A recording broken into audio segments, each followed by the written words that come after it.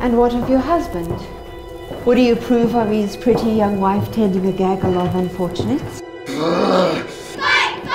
What's alchemy? Miss Lena told me about it. It's just a bit of fun, ma'am. Potions and spells. It's blasphemy. Who's he? He arrived in the dead of night. Where are you from? The servants of the divine, where the fairies had conjured a being of pure evil.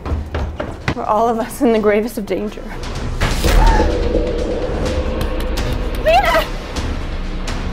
Nicholas! They called this beast the Krampus.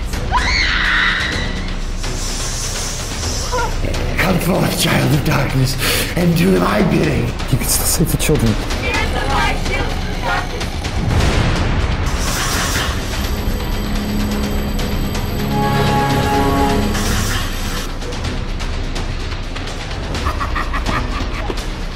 It's happening.